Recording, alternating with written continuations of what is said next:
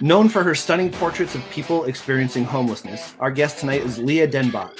This will be a very interesting conversation about using art and creativity to help those who are more in need.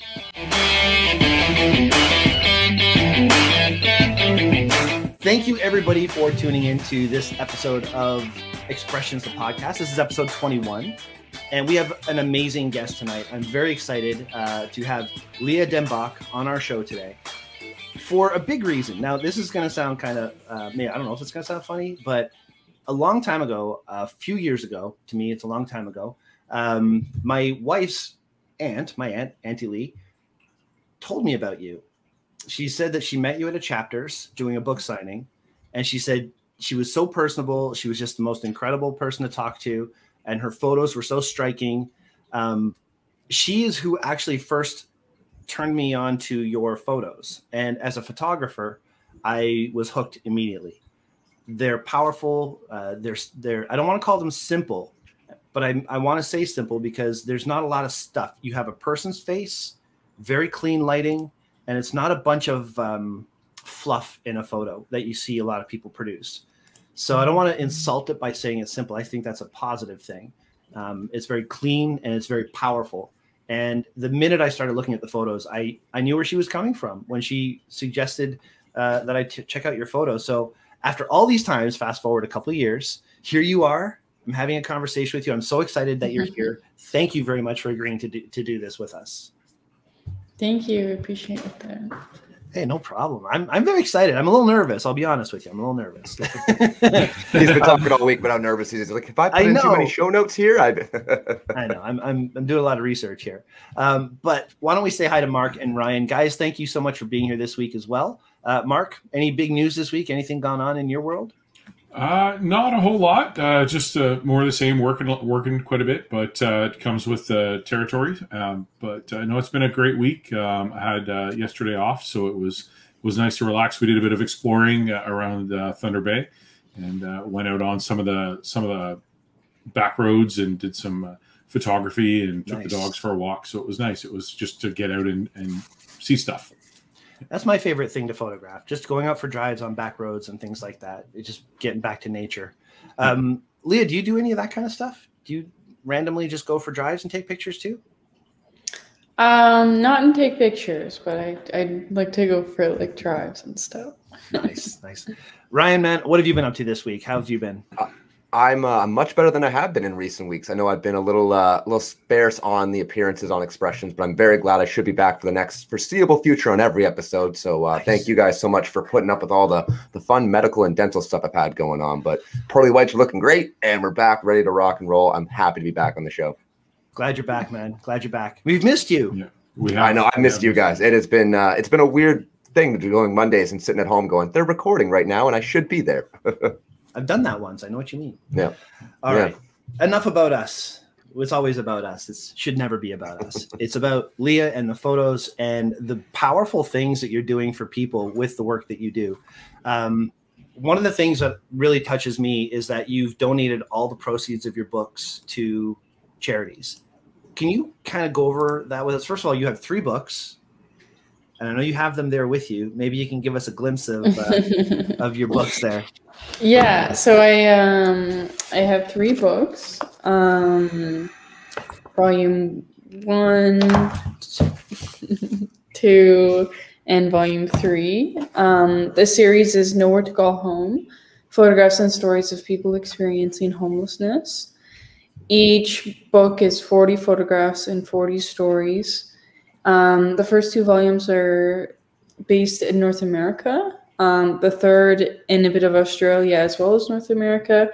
And the fourth that's coming out soon is going to be uh, North America as well. So there's a lot of diversity in there. Um, and then, as Brian mentioned, uh, 100% of the profits of the books um, goes back to different homeless shelters um, that we know really are helping people experiencing homelessness, and we work with them personally. Um, so we know that they're doing great work. So That's incredible. it's a it's a great donation.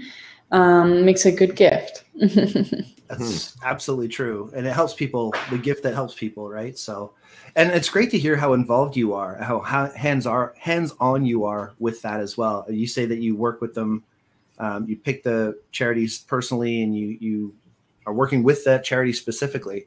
Uh, what makes you choose those charities? How did you find out about them, and uh, how do you know that they're actually doing the good work that they are? So the shelters that we chose to donate the money to are shelters that we specifically were doing shoots at and working with like in multiple locations. So just to give you an example for to Call Home Photographs and Stories of the Homeless Volume 1, we donated the money to the Barrie Bayside Mission Center. And we did that because Barrie, the Barrie Bayside Mission Center is the closest place that you could find people experiencing homelessness from where I grew up in Collingwood. So that's where I was often going to take photos of people experiencing homelessness. And just like so happened, um, Chris here on my right shoulder is from the Barrie Bayside Mission Center.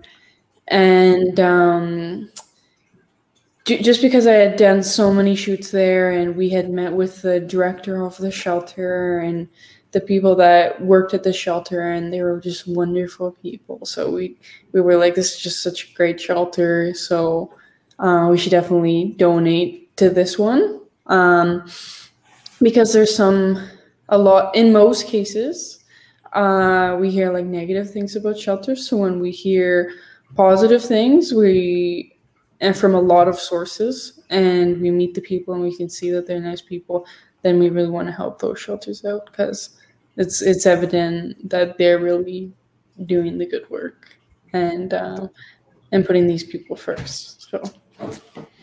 Yeah, that's key. That is definitely key. Have you run into any situations where that wasn't the case? You dealt with somebody, uh, a shelter or something that they just didn't want to. They, they didn't seem. Like you don't have to name names, obviously, but have you ever run into a snag like that where people just were not receptive? Uh, we haven't actually run into any that weren't receptive. Um, but especially in bigger cities, we've heard like a lot of negative things um, on more general terms. Um, when we say like, "Oh, why don't you go to a shelter?"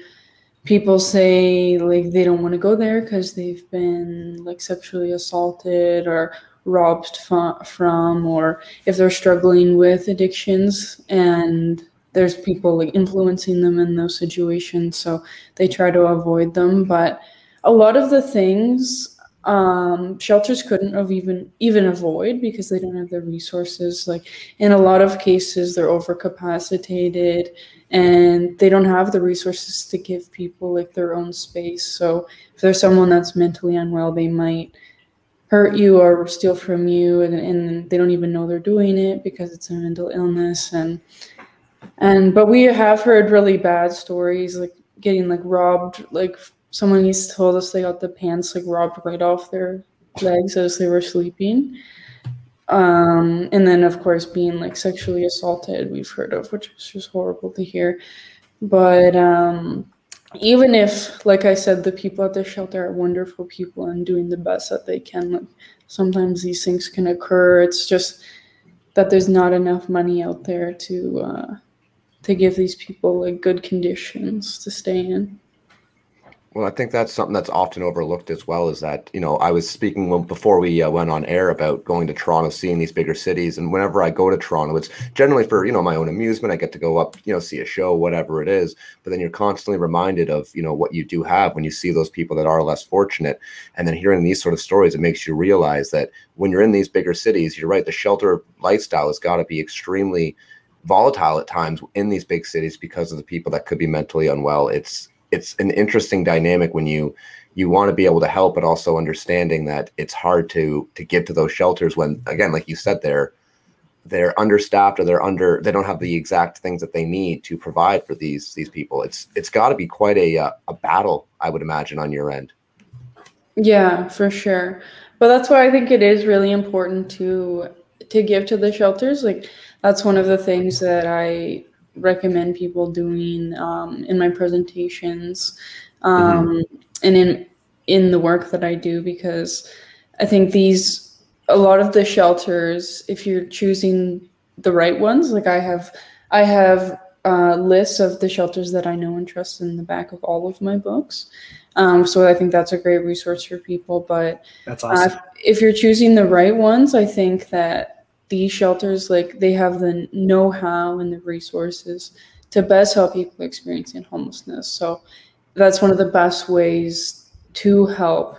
Um, on top of like volunteering and showing them respect and stuff like that. But I think that is a Of really course. important thing.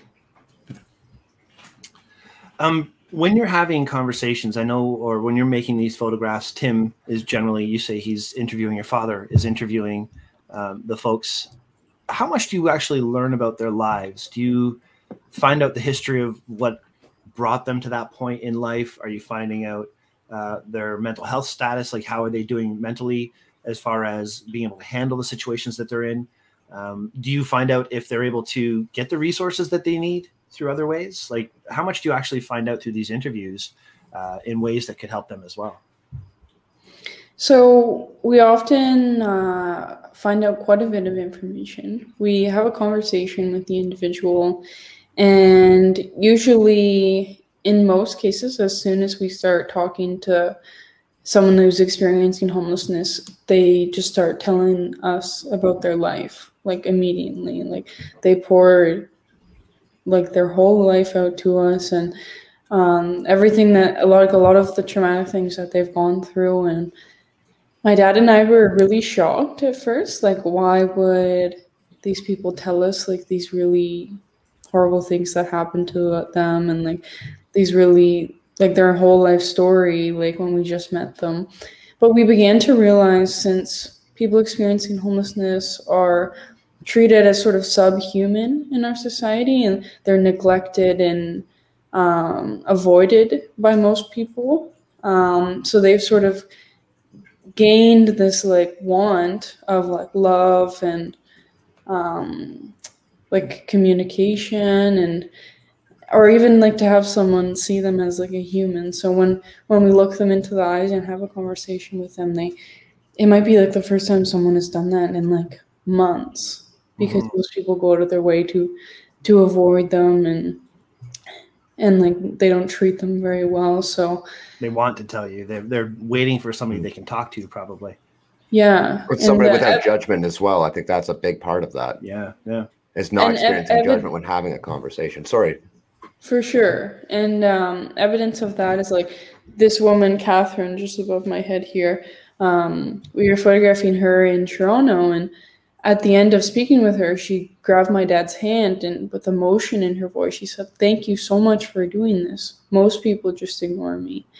And we've had people say that to us before. And um, so I think that's definitely the reason that um, they they say so much to us and we often don't have to ask them them that many questions they'll just sort of lead the conversation and tell us about their life tell us how they ended up being homeless um, in some cases the person is more shy or they're struggling with maybe mental illness or they're tired for example so they're less talkative. Uh, and in those cases we often just ask them questions like how, how long have you been living in toronto? How long have you been experiencing homelessness? Do you have any family around? And usually just from a few questions they'll start leading leading the conversation in some sort of direction and, and telling us a bit about uh, a bit about their life It sounds to me like you've definitely got you've been on an emotional roller coaster, I would feel, given the the career that you're that you're in, just because the stories that you must have to hear and the things that you've you go through on a day-to-day basis just emotionally must really be hard to deal with at points. Is that something that you've had to overcome? Is it something that you're still trying to deal with? 'Cause I think like Um, for me personally, just just the thought of it, I'm thinking I, that's over my head. It's something that I don't know I could do at your level, obviously, because it's it's so hard and heartbreaking to to hear those stories. Yeah, of course. Um, well, um, it is definitely difficult hearing uh, like these horrible stories, and and people tell us like about the most horrific things that they've gone through, like being sexually assaulted or going through trauma or having like we've had a lot of cases like Chris for Chris for example on my right um, he told us that his small child was hit by a car and because of that his wife commits suicide. And we hear a lot of stories like that are really tragic like that. And and when we hear them like it really like breaks your heart and and it's horrible to hear and and especially to hear like so many like one after the other and not not really be able to do that much about it. Um, but the only thing i feel like that keeps me going in terms of the work that i do with people experiencing homelessness is just knowing that it is having a positive impact. And I, I get a lot of messages from people around the world telling me that after seeing the images, they can't walk by someone experiencing homelessness and not think about their story or volunteer to help at a shelter or even like use their own talents to help people experiencing homelessness and and getting those messages um, really keeps me doing the work that I do, even though that it is difficult um, most of the time. So I I plan to continue doing it as long as as long as I can. For sure. good for you. Yeah, that really speaks to your character, of course, because again, that's it's got to be tough to deal with that on a day to day, and to be able to keep waking up and saying, "This is what I want to do. This is something that is important to do." It it speaks volumes to your character. So Yeah, and to mention um, my aunt who told me about you in the first place, she said about Catherine, about what she said. You know, it's so nice of you to do this. Most people just ignore me. When she read that, she thought that pretty much sums it up. That actually made her cry. And I would imagine as an artist, that's pretty much what you're going for. You want to try and give people the emotion that they need to have to care about a situation. And I would say that that would have been a successful photo and a, a successful moment as an artist to have somebody like my aunt view your photo and really appreciate what it is that you're trying to tell, what story it is you're trying to convey. So, you know, I when she told me that, that was out of the blue, a quote that she mentioned to me. Um, I'm thinking, as a photographer, that is the most successful thing that I could do or you could do as a photographer is to have people feel that, like genuinely feel that. I shoot professional wrestling. Like I can take a picture of a wrestler punching another guy in the face, and that could be an emotion getter. But none of these things could actually bring tears to people's eyes, like an image and a story that you shared. So I love that. Mhm. I, I absolutely love that. Mm, Thank you. Yeah, no, definitely the the emotion is is high when you're looking at these images. I mean, uh, first off, uh, kudos on the images. I mean, you're you're. Uh, I, I encourage anybody to go to your go to your website and see these images, buy the books um, because these images are very very striking. Um, they're they're very um, they're just the, the image itself. Each one of them tells its own story, and then uh, on your website, which is uh, uh, humanizingthehomeless.org uh, on uh, on Leah's website. So if you go there and see these images of these people uh, coupled with the stories, and it's amazing, as you were saying, just how thankful these people are to to just talk to somebody. But some of the things I saw, one of the stories were um, she was holding up a broken mask during COVID, and your and your dad had a spare one, and he gave her a spare mask, and she was very thankful for that.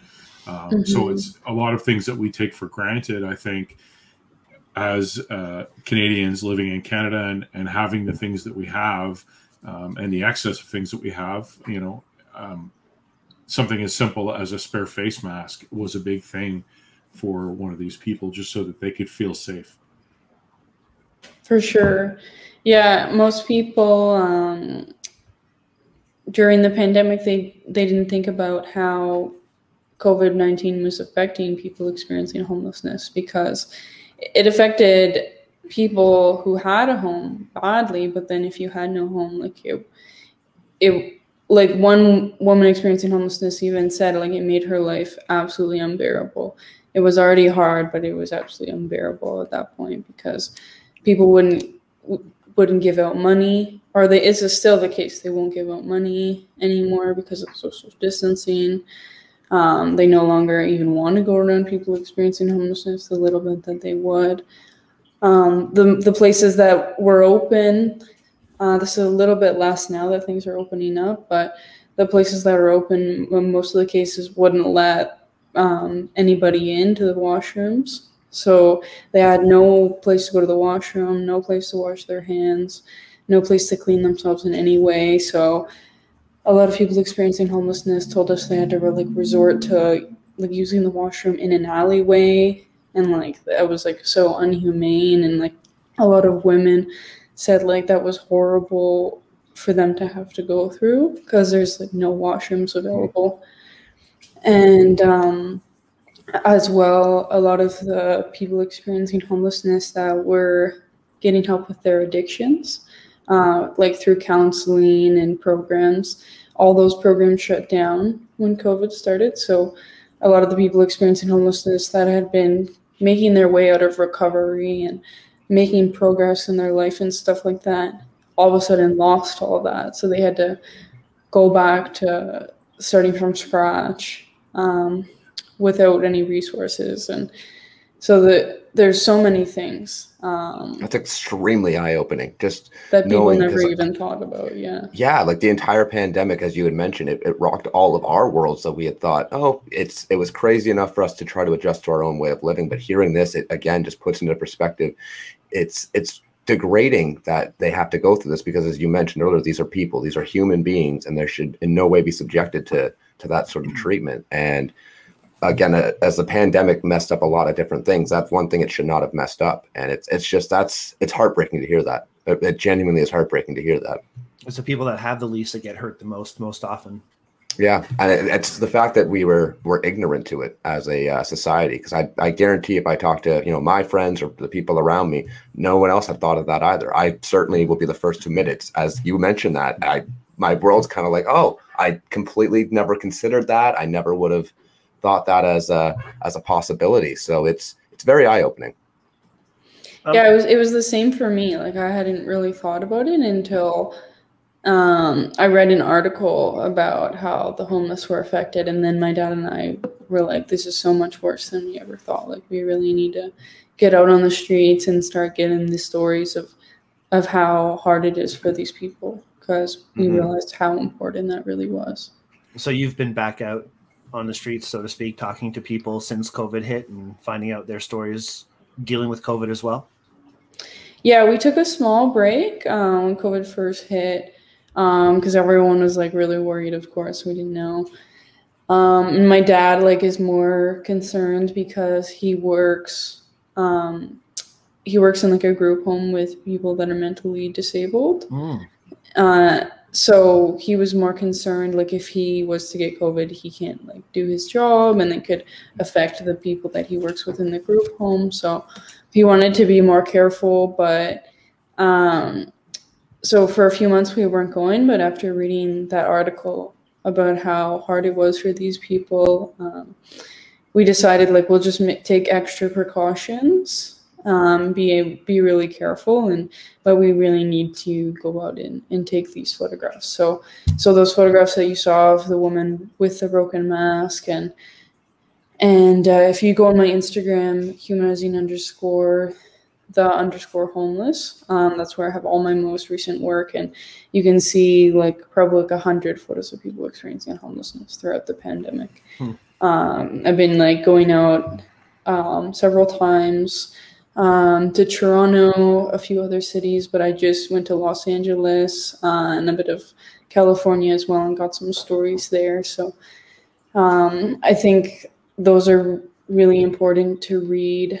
Um, and a lot of the people experiencing homelessness don't even mention the pandemic because they don't really even realize what's going on most of the time without having access to the news um, or any resources that tells them what's going on. And in a lot of cases, if they're mentally unwell, um, they won't they won't even know that we're in a pandemic. Um, so even though there's stories that are from the pandemic, in some cases they won't they won't mention it at all, Hmm. even if we ask, because they Okay. are, or if we ask, they they don't even know what we're talking about. Uh, We can't seem to do a show without talking about it almost all the time. So that's crazy to think about. Yeah. It's still it's just so eye opening, very eye opening. Absolutely, absolutely. You don't know what I'm you kinda don't know. I'm also kind of curious because as you you're mentioning there, uh, just speaking with all these people, and obviously donating will always help. Is there certain things that, as a society, we can avoid doing that would also help? Because as we you mentioned, these are people at the end of the day, and I think there's a lot of judgment that gets thrown around. There's a lot of hate that gets thrown around. What as society can we do? At least the good ones, the good people out there, can we be doing that we may not be aware that we're doing, or stop doing that we may not be aware that we're doing to encourage those judgments or because to me, like there's certain times where I feel like I've done something now to, you know, maybe cast judgment without realizing it, whether it be the way that I talk, maybe a, a phrase that I use. There's certain things that we should be changing or dialogue that we should be having. So, um, because my mother was homeless and, and rescued by Mother Teresa, I take a lot of Mother Teresa's quotes on as like a motto for the work that I do with people experiencing homelessness. Mhm. And one of her quotes is, if you don't know them, don't judge them.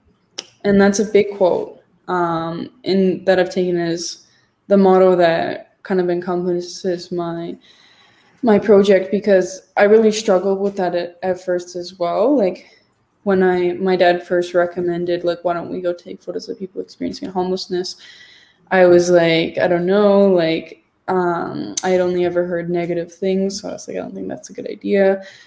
But um, and plus, you were what, 12? 13 I was at the time? 15. Okay. yeah. So uh, I was pretty young, and um, but gradually he talked me into it, and it changed my whole perspective because I realized that none of those stereotypes were, almost none of them were true, and that they're most often very kind and humble people. So um, I think like a big thing that's important for all of us to do is is to follow that quote by Mother Teresa that if you if you don't know the person, why why would we judge them? Because why would we even think it's our right to judge this person like when we have no idea how they ended up homeless? We have no idea their life story. Mhm. And like if we actually took the time to listen to it, I think in almost every case you'd be shocked. And Yeah, well, you're living proof of that at this stage. Yeah. so yeah and i think take my word for it like um every time like i hear their story it's like never what i expected like just to give you one example like there was this one guy dexter who was under the gardiner expressway in toronto and and he looked like a really tough guy and he was like shaved head and tattoos and scars and my dad and I were like, oh, like should we should we approach him? Like we're all alone under the Gardiner Expressway. Like if anything goes wrong, like no one could hear us. And we're like, okay, like we have to do it anyway. And so we went up and introduced ourselves to this guy, and he ended up being like one of the sweetest people I've met in my entire life. Um, but in fact, he lost his wife and son to a drunk driver and he's blamed himself for it ever since. He's never been able to recover emotionally, and he was a war veteran um, and was taken hostage and tortured. So that's why he was covered in in scars. So due to the just traumatic experiences that he's been through, he hasn't been able to live in a house. He just lives under the Gardiner Expressway, and he told us like he bikes to I think it was a, like a different province that was on the other side of Canada every summer, and that's why he's like so fit. And it was just like just blew my mind, and like it's stories like that that really I think change people's perception of homelessness. Because when you first see the person if it wasn't for the story you still have like time to judge them and think like oh they're probably just a drug addict or they chose to be there or they're dangerous but when you actually hear their story and you see like no their wife and son was killed by a drunk driver and you realize like if that happened to me i wouldn't be able to recover either. Like i would be under a bridge if i had no friends and no family to take me in and and support me emotionally. Like i think i would be honestly like under a bridge too like if i didn't have those support systems. So so i think that that is really important for people to see for sure Just trying I to bring up a photo of Dexter here. So There is, yeah. Yeah that's see. dexter I, I noticed in uh, a lot of the stories. But yeah, no, and that uh, again, you're living proof of that. sorry, is there a lag there? Sorry, I- I'm a little bit behind here, so I think there's going to be a Oh. delay. I kind of froze for a second. How did you? So I was I was just saying I noticed in a lot No, of the go ahead. stories you ask people if they had uh, family. Um, you know, s- so some of them said they came from the Peterborough area, for example, and did they have family? And, and at least one of them said that she had a, an older daughter as well, but hadn't had any contact with them.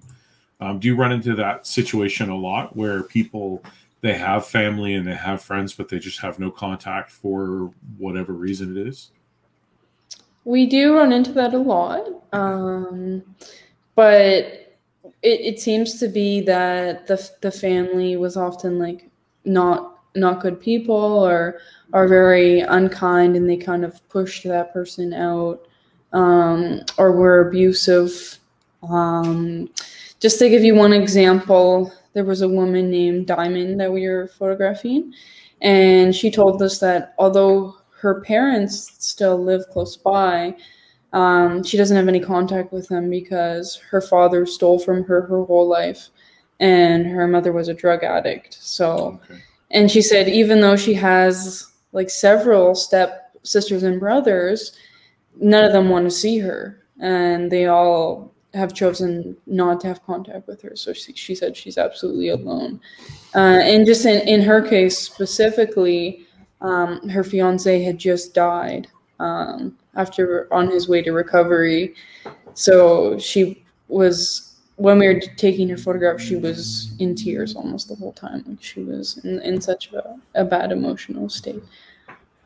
Um, so we definitely meet a lot of people um, that have family, but they're just not they're not there for them. Um, and of course, if if they were there for them, then this person wouldn't be on the street.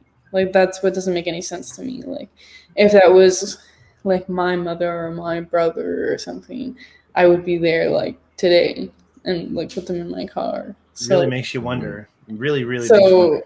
yeah, I think there's definitely like something wrong in a lot of those family dynamics or this person isn't mentally well and like for example their children aren't equipped to handle that so in some cases it's not their choice um, because we've actually gotten a surprising amount of messages from family and friends of individuals that see the image and they say like this is my mother or this is my my sister like thank you so much for for Hmm. taking the time to photograph them and and be kind to them like do you know where they are and and a lot of really sad ones are um, we get a lot of messages from from children that are saying like this this is my mother and and oh, i Oh, don't know where she is like i i last time i saw her like i was this this much like years old do you have any other photographs of her and like do you know where i could find her and stuff like that That is so powerful. That is such a powerful Yeah. thing.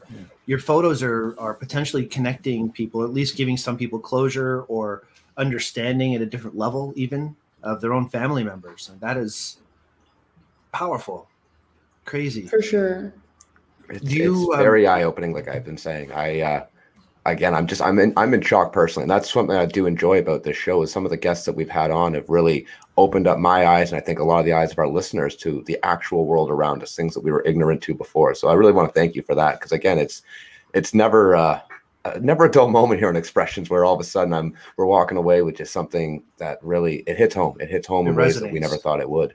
Yeah. Do you keep in touch with the families or the people that you've talked to? Do you follow up, do a, a shoot down the road, or check in to see how they're doing? Do you keep? Is there a way to keep in touch even? Um, I keep in touch like in terms of like a lot of them some message me on Instagram and stuff like that. So like I, I keep them in my messages so that if I ever do find that person again or have any more information, then I can easily send it to them and like find the messages.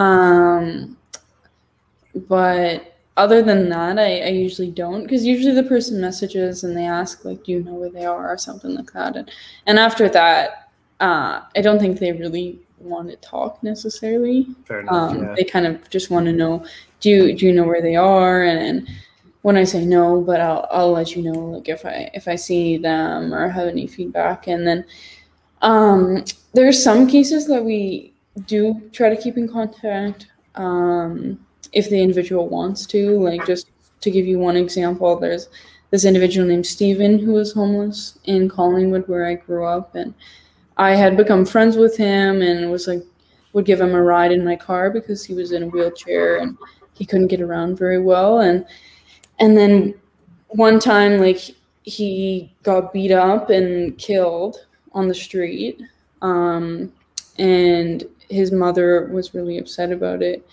So we were able to keep in contact with his mother and like to this day we've been talking with her and like letting her know um, like how we've been doing and she lets us know how she's been doing and stuff like that. But um, so there's some cases that people want to stay in contact with us but um, and most of the time um, they yeah they just kind of want to know where they are Yeah, yeah. Yeah. Have you have you had any um, people that you've interacted with, possibly somebody that's in one of your books, that has contacted you later on after the shoot and, and after the book is out uh, to let you know that they're doing better and that they've found a permanent residence and and potentially um, I'm, I'm, ass- um, I think some people that are experiencing homelessness do hold jobs as well, but uh, probably many of them don't. Are, are you finding that anybody is reaching out and saying, hey you know thanks for thanks for the talk thank you for noticing me and, and making me feel like i was a valued member of society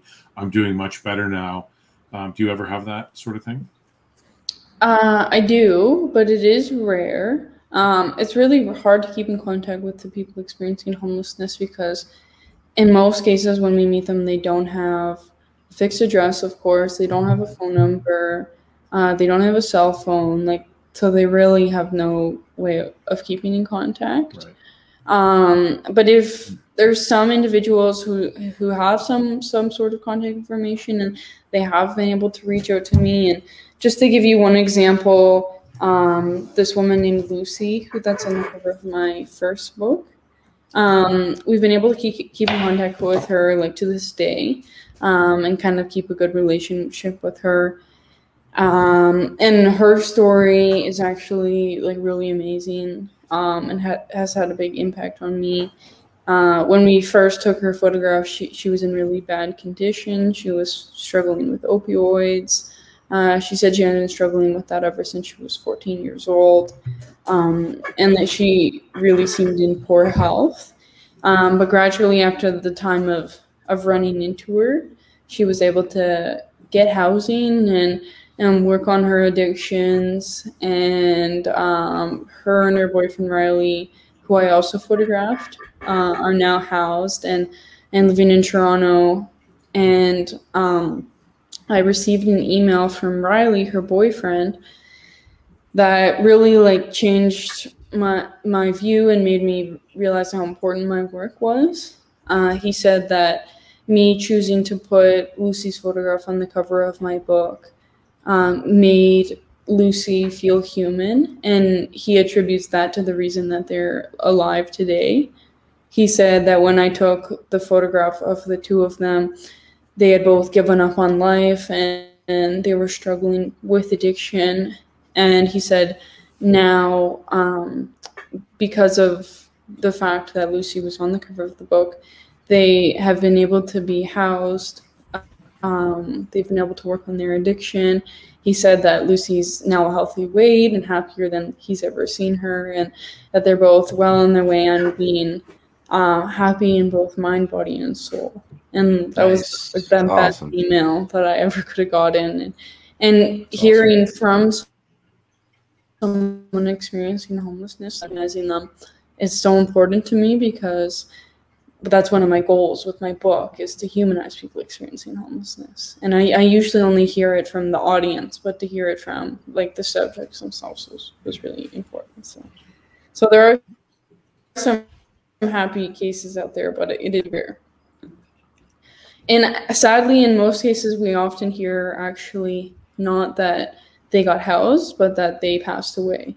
In most cases, we hear that for some reason um, they were killed on the streets, uh, like the Stephen individual I just mentioned.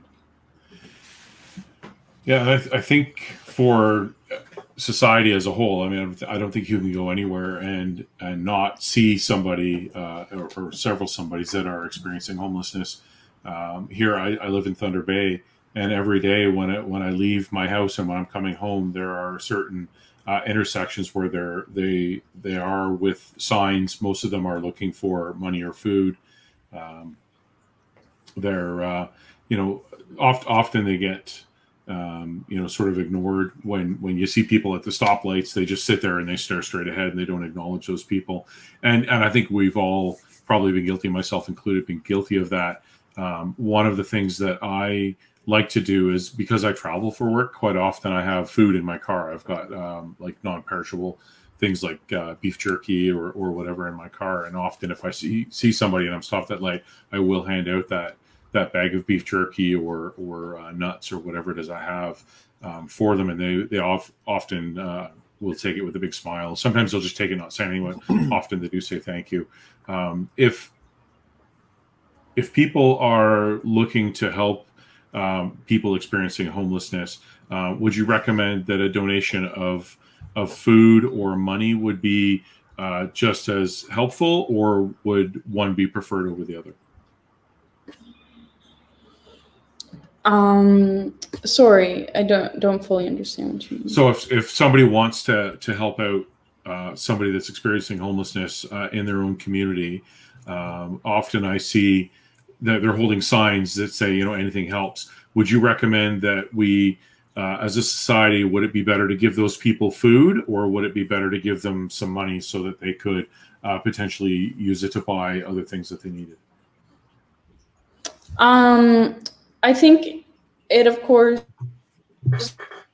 depends on whatever with or whatever is like someone has the most resources of. But I think it kind of goes back to what I was um, answering before to Ryan's question of of the Mother Teresa's quote and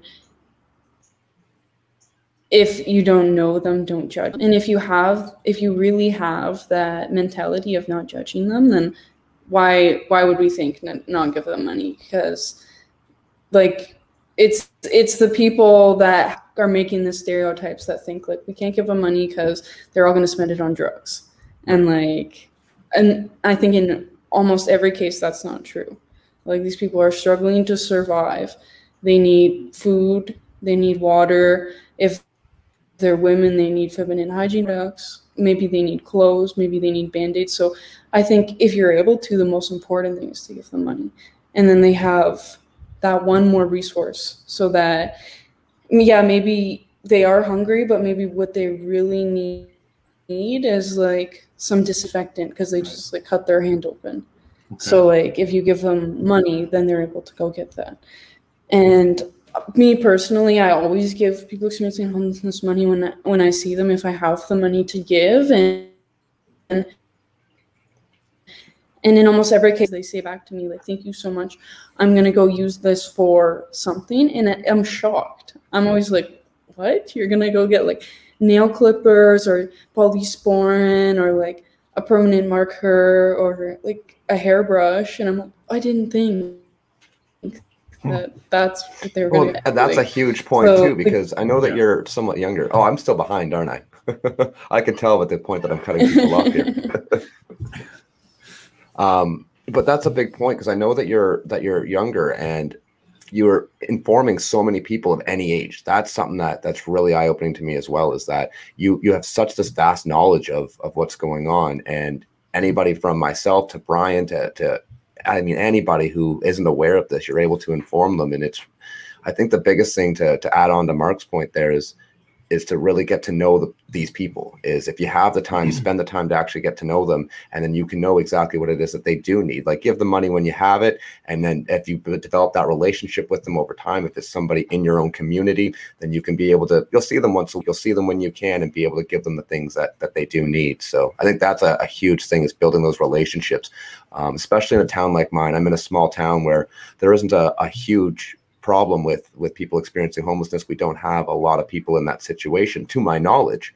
But the few people that I have seen around, if I take the time and the others in our community take the time to get to know them, the difference it could have is would be astronomical. Just and I can tell just from talking with you that that would be proof. Is just take the time to get to know them and and it would just do wonders. Yeah, I, I should have mentioned that for sure. Like I think the most important thing is to not just give them money, but to have the conversation Conversation. Yeah. As, as well. So then what I'll do when I give someone money or um, is talk to them. And just to give you one example, I, I was speaking with someone and I said, like, do you need some money? And he said to me, like, no, I, I actually don't need any money, but I really need a marker to make a sign. And I was like, could you go grab me a marker somehow? And I was like, oh, of course. Like, that's like no problem for me. So like I just went over, grabbed like a bunch of markers and like some water and and some stuff like that because I was like, "Are you sure you don't need water and food?" And he's like, "No, I really need like a marker. It's really important." So I was like, "Okay." So like if if that's what the person really needs, but they have no way of getting it, like you're not going to realize until you have that conversation with them. Or this other woman that um, I was, or sorry, this other gentleman that I was speaking to um, when I was having a conversation with him, I asked him like, why, why don't you stay at a shelter?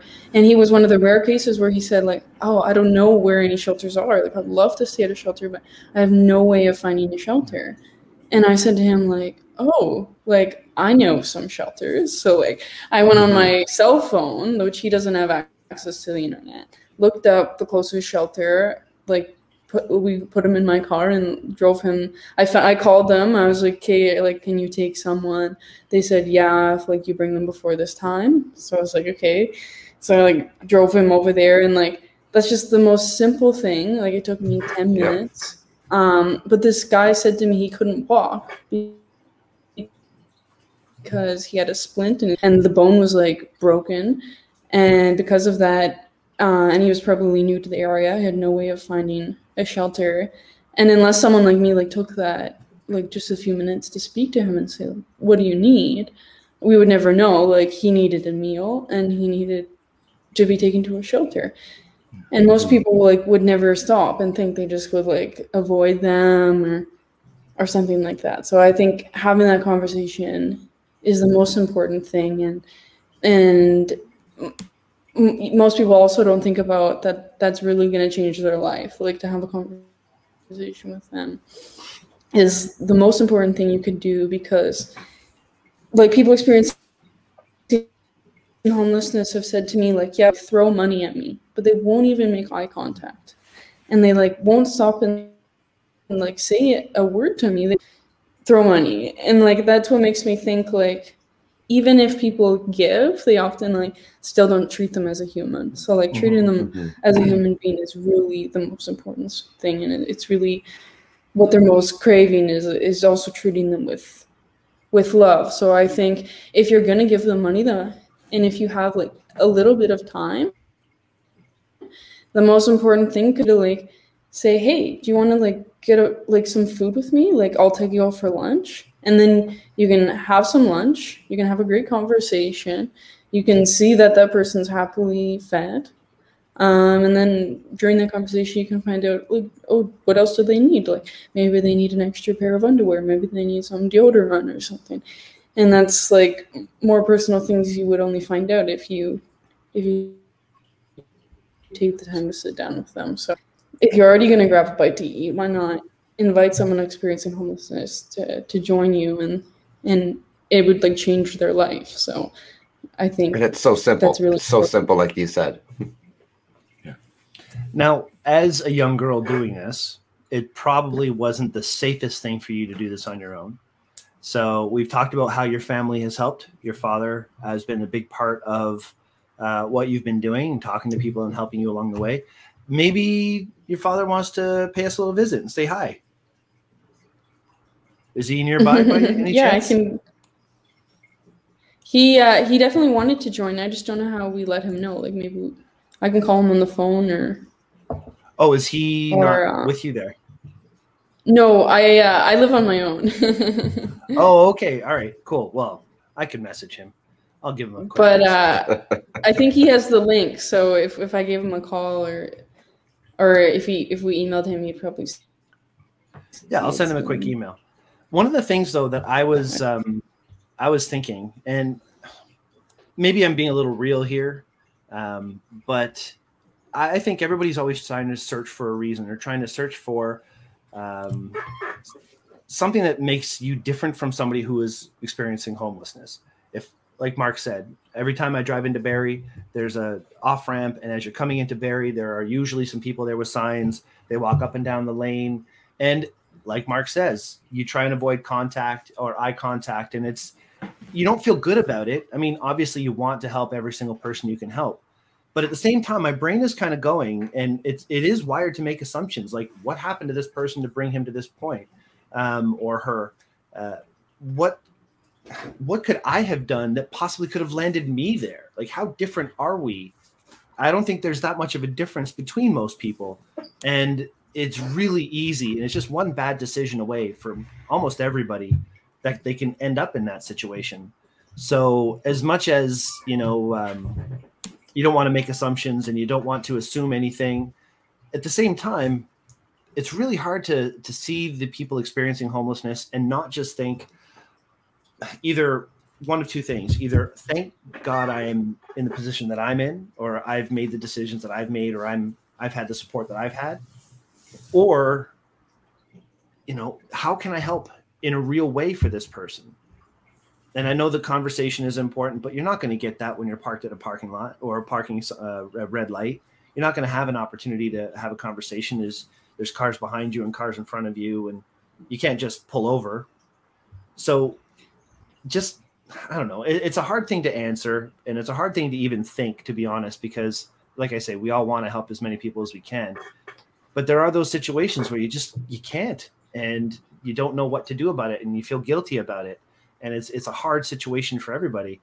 Um, I don't even know if there's a question there or if it's more just kind of a statement, but uh, I think it's a realization. if anything maybe just a realization, maybe just like an aha, like oh, this Yeah. really sucks that I can't do more. You know, like it is frustrating. It is very I- frustrating to see people going through this. I did just want to add to your point. Um, when you were speaking, you did say at one point, uh, what could they have possibly done wrong to get in that situation? And I'm thinking that's still the mindset Yeah. of of blaming them and judging. This is my point Yeah. exactly. I think, Um, and, and I'm just being real with that's the thought, right? avoid, yeah. It- Because um, in most cases, they didn't do anything wrong. They were just living their life, and and they something happened, and then they didn't have the support system to keep them out of the shit. And just to give you one story as an example, I was photographing this woman named Kimberly in Australia, and she told me she was living a happy life with her seven kids and her husband, and one of her kids accidentally set fire to the house, and her whole house burnt down. Lost all seven kids to child safety, and now she's been homeless for the past several years, trying to get her children back and trying to get a job, and like stories like that, and some of the ones I've given before, are just evidence like people like this didn't do anything wrong. Yeah, um, yeah. It just life That's- happens. That's extremely So some, disheartening. something countries need to look have an open mind and not have any judgment and, and do what Mother Teresa said. And, and if we don't know them, don't judge them. So I think in those situations where where we draw someone, if we don't have time to say anything, at the very least, like smile, like say smile, like wave, like say hey, how are you, like something like that. And then, so it's not at the very least, it's not someone that's like avoiding eye contact or driving away. At the very least, they see someone giving them a smile, and I think that's like an important thing on its own. So if that's all you have time to do, because I, I also find that's really hard like when you see someone at an intersection because you only have like two seconds, and that's sometimes I'm like, oh, I want to give them money, but the light just changed, and so then in those cases, I just do my best to try to make eye contact, give them a smile, um, say sorry, and then like kind of drive away. At the very least, Yeah, that yeah. basic human interaction. Because every other Yeah. person is is gonna say something mean to them or avoid eye contact or something. So. Yeah. Yeah. Well, that's that's exactly I think what I was trying to uh, to learn, and I appreciate Yeah. that. Thank you. and and I think for myself, like I'm, I'm sitting here feeling like the biggest a hole in the world right now because just last week I was sitting in a parking lot. I was on a conference call and I was listening, and a fellow walked up to my car, and I did exactly what everybody else does. I just stared forward and I waited for him to leave, and I'm thinking to my now I'm thinking if that happens again. I'm going to acknowledge that person. I need to change my mindset.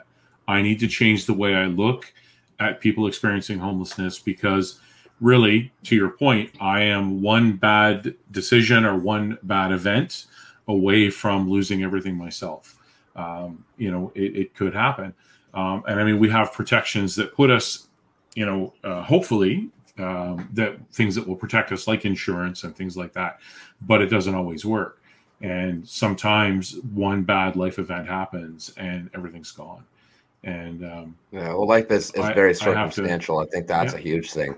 yeah i have to change my mindset and um, it's going to take work and i know it's going to take work but I- i'm here to tell you it's work i'm willing to put in because you're you're 100% correct. They are all human beings at the end of the day whether they're male or female or or you know whether they're any other uh, orientation at all. It, it doesn't matter. They're a human being at the end of the day and we need to treat them like they're human beings.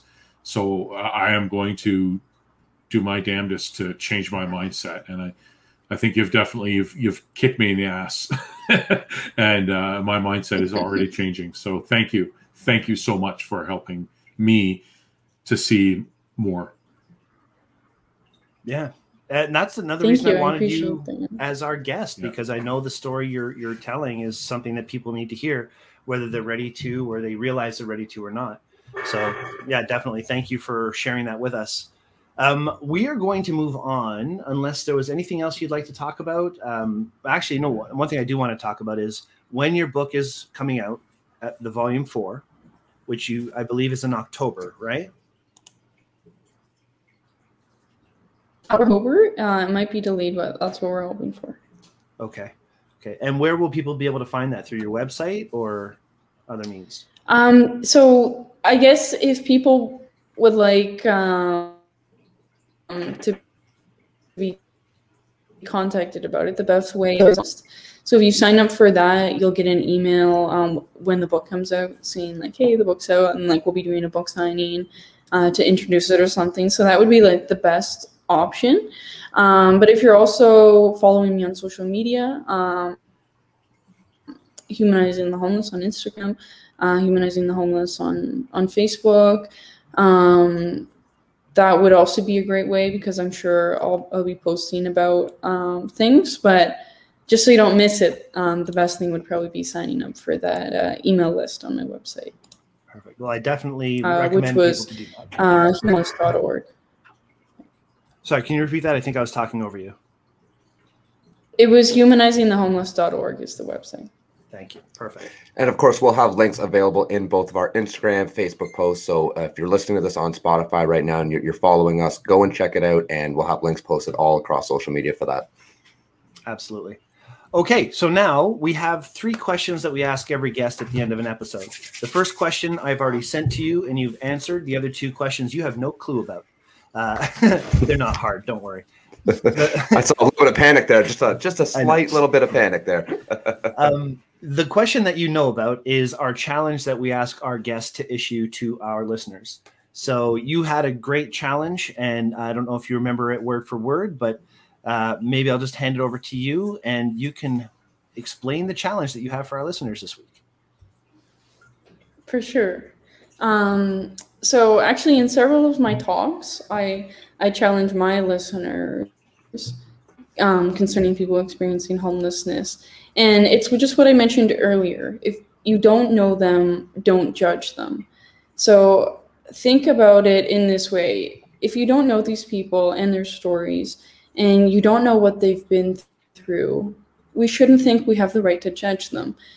And that is often what we do. Often we look at them and think that they're lazy or that they've chosen to be on the street. But I think it is best that if we follow this advice uh, because we don't know the person's situation. And if we judge people, we have no time to love them. And that is another quote from Mother Teresa. So, my challenge to the listeners would be don't prejudge any people experiencing homelessness. They're often some of the most kind and humble people I've ever met. So, if you have the time, stop and, and chat with them instead and show them compassion. Because um, you'd really, really surprised how much even these small gestures are appreciated. Excellent. Good challenge and something everybody can do. And I, I'm going to do it myself for sure. Definitely. It's one of the few challenges I'm genuinely going to commit to. Yeah. yeah. um, okay. So now for the other two questions. Now, uh, by the way, I did send a, a message to Tim, an email. I would love for him to show up. If he doesn't show up by the end of our conversation, I apologize. Uh, I'm very thankful for the for the help he's given us as a show to have you on, and for all the work he's done for you uh, over your lifetime and how he's encouraged you in all the ways that he has. I think um, having parents that encourage their kids is key. I sell cameras for a living. And when I have a customer come in with their kid and they're ready to buy their kid a camera to get them into photography, I'm just like over the moon excited because here's a child. I didn't necessarily get all the encouragement that I would have liked to have had as a kid. Uh, my mother bought me a drum set, which was awesome, and I still play the drums. So there's there's encouragement, but to have somebody go all in and you know take you to the city and take care of you and help you with the interviews. I have a lot of respect for Tim. I think that was uh, a really great job he did bringing you up, and it's obvious in in how caring and passionate you are about what you do. So, kudos to him. Got to give him a lot of credit. And um, now on to the next questions. So this is a fun one. Uh, what's your jam? What song do you listen to that absolutely gets you going every time. You can't skip past it. You every time you hear this song, it's just you love it. Is there a song like that? Are you big into music or or is there just nothing? Um this question gives me anxiety because oh, no, I don't want to give you anxiety. I'm not like a music person and I like I really like listening to music, but I like don't know like artists and like songs. That's fine. Um, What's your vibe? But like, Are you into I, heavier music? Just the song or? that comes to mind is um like my partner and I have a song. It's like the song "Blinding Lights." It's just like we heard it when we like um we both really like the song. So when I think about that song, it like makes me really happy and like nice. him. So like that's one one song I guess that like is my jam, I guess. I love it. I love it. I, I, ask all the people, yeah. "What's your jam?" Some people have no clue what I'm talking about. I'm old. I, I it's like a saying. Era, you know? well, thank you. That's perfect. That's perfect. Um, and the last question of the night for you is uh, tools of the trade. Uh, a tool of the trade could be anything. It could be a literal tool that you use to make your daily job better or it could just be an idea and a concept that you follow and something that guides you to just doing better at what you do every day. Do you feel that you've got a tool of the trade that you fall back on all the time? So when you say tool without usually something you actually use as a tool? Doesn't have to be. Mark's tool of the trade is his creativity, thinking outside the box my tool of the trade was my Leatherman, which is literally a tool. So it could be like something that when you're out shooting uh, that you have with you. It could be just a mindset that you have that gets you through the day. More anxiety. I don't know if this is, would, is this so I would almost like say ruining empathy. it, but no, no. I would say empathy if it was if it was me, because just from hearing the stories and hearing the work that you put in, it's yeah. you you're one of the most empathetic people that I've ever had a chance to speak with. The it takes a lot of dedication, a lot of mental energy to to do what you do, and I think to, to have that empathy is is very key in what you do. I appreciate that. Yeah, it's something I don't often admit, but that's that's probably one of my best. Hundred percent, it would be. Tool, yeah, tools of the trade, I guess, if we're gonna put it like that it, it is it's really good. I mean, if you can be empathetic and care enough to stop and talk to somebody who really needs to talk, where most people don't, that's a solid tool right there. Excellent. All right. Mark, Ryan, any other questions you'd like to ask? I'm, I, mean, I have one other question I'm going to ask, but I'm going to ask if you guys have any questions that you want to ask first. I do have one question, and it uh, it actually relates back to your father as well, because you had mentioned that he was working uh, along people with mental disabilities. Is that correct? Yeah. Yeah. So has he been involved in humanitarian work throughout most of his life, and that's kind of where you've adopted that same mentality and been able to, to follow in his footsteps? Because it just it sounds to me like you've been very encouraged by the the life that he had lived, or at least the the things that he's trying to pass on to you, and you've taken it in stride. Um, so my parents have always been involved with like um, volunteering and in the community and stuff like that. So that's always been like a big thing throughout my life. Like um, every year for Christmas, for example, we would um, serve dinner fortunate people in our community and like like that kind of thing. Um, so like that's always been something. But um, when we decided to take on project of people experiencing homelessness. And um, and toward, sort of to back that up, both my parents are actually artists as well.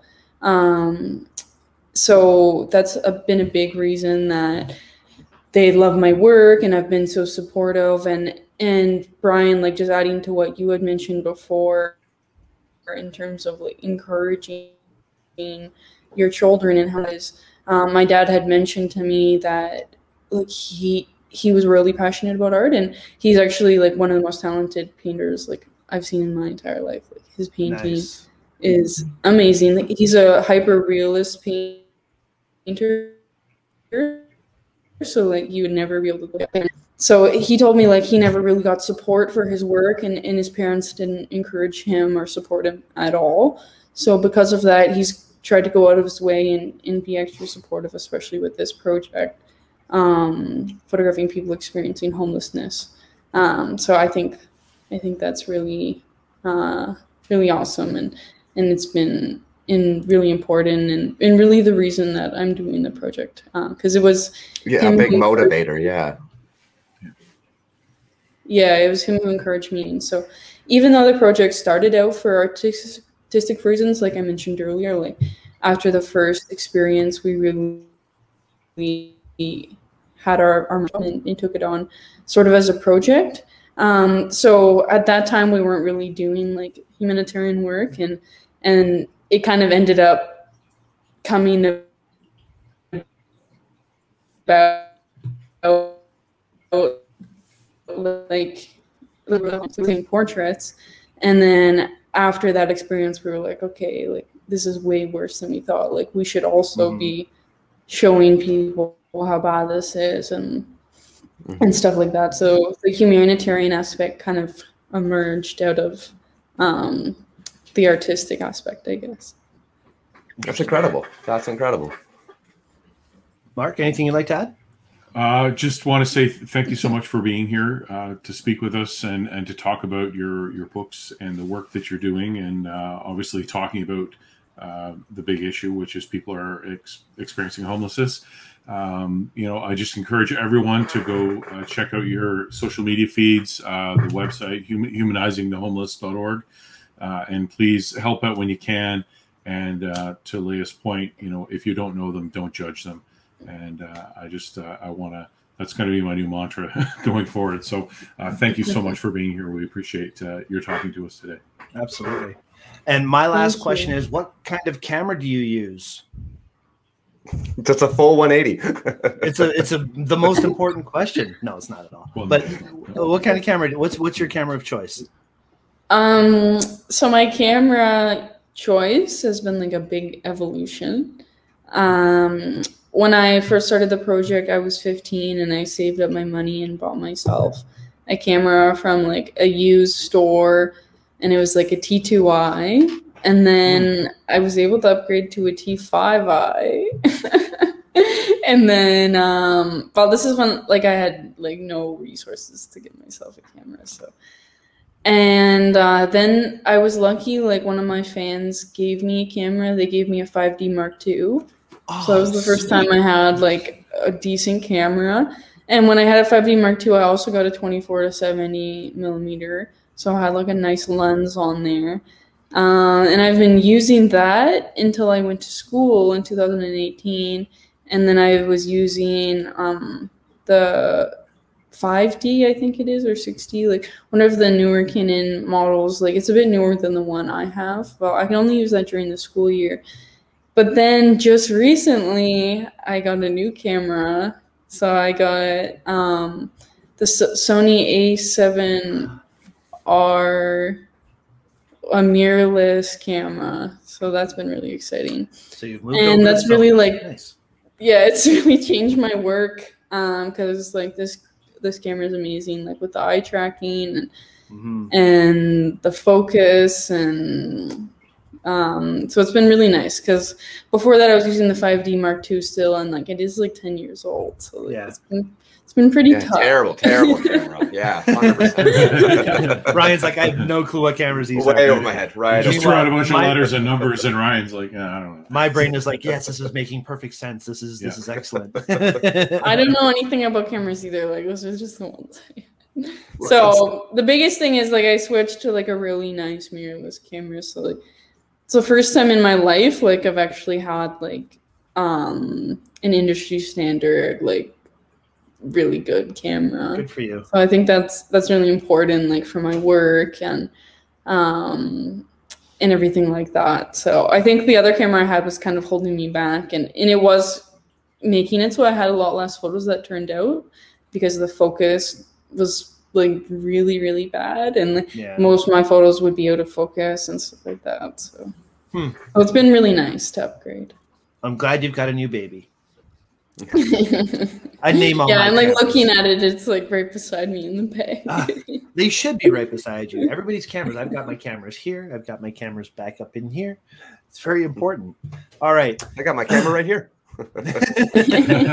Hey, whatever works, right? Whatever works. And I think Leah can can attest to this. I mean, you don't need to be a super techie camera person to be a great photographer. Um, I remember when I first started working with Peter McKinnon, he came in and uh, he was talking to somebody about a kit camera and how the person was really disrespecting this kit camera. And Pete's like, "This is exactly what I use for this photo." And he showed a photo that Adidas hired him to do. And it's not about the tool sometimes; it's about how you use it. And I, I, you've probably your first book was probably made with one of your rebels, I would assume. Yeah, Right? I was gonna say it's funny you say that because I'm I'm proof of that. Like this entire book was I think the T2i, There you go. and this entire book was the T5i, and I I guarantee you this one was T2i kit lens automatic mode, like as bad as it gets. yeah, but you framed it right. You told the story. You brought passion to it. That's what matters. I love Yeah. that. Love that. and so, some of my best images were were taken in that in that way on that camera and like now they're like 30 by 40 prints like in different See? countries and like yeah, pe- um like when people always talk about equipment i always say like with the littlest equipment i was able to do this so you don't Good need you. the best you're inspirational on many levels. Many, many levels. Absolutely. All Well, right. I've had a Thank you so talking with much. you today. It's been it's been very eye opening to say the least. So this has been a lot of fun. Absolutely. I don't know if fun's the right word, but No. Eye opening. no. Eye opening. Eye opening Important for sure. Yeah. I think important, Important. is the word, at least for me. Yeah. All right, we're done. Thank you so much, Leah. Thank you, Mark. Thank you, Ryan. Um, unfortunately, Aurora wasn't able to be with us tonight. Uh, she wasn't feeling so well. Hope she feels better. And we see her next week. Until then, everybody, thank you so much for being here for us this week. And we will see you all very soon. Take care. Bye